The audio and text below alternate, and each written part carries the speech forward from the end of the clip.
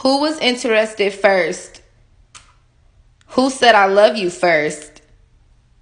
Who's more protective? Who cleans more? Who eats the most?